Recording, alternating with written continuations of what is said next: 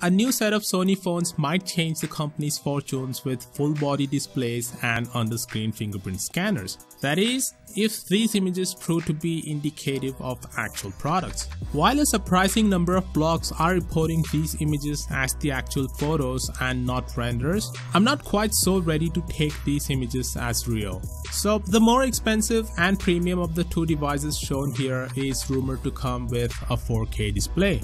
That's not impossible as Sony has released 4K smartphones before. This device is also said to come with a dual camera setup as you can see. The reasoning behind the distance between the sensors could be explained by the need to capture depth information. It will have a Snapdragon 845 chipset, 6GB of RAM and 128GB of internal storage. It's said that this phone may have a fingerprint scanner embedded into its display, which makes me believe this is just a fan-made render. I mean, technology giants like Samsung and Apple are still struggling to make the under-screen fingerprint scanner technology a reality. Don't get me wrong though, Sony is a big company, but mobile division is not their priority anymore.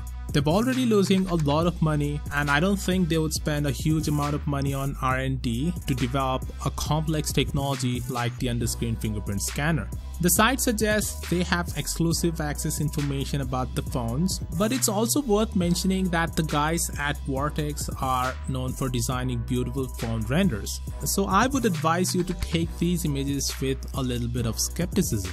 Both of them have dual speakers up front, so the fingerprint sensor on the second device is expected to be a normal one situated on the back. At this very moment, I can't confirm any of the details, but I do know that Sony's smartphone designs need to evolve, and perhaps the direction suggested by these photos is the right one. Of course, if they're real. So let me know what you think. You think these images are real or just fan-made renders? Let me know in the comments and I'll see you guys tomorrow.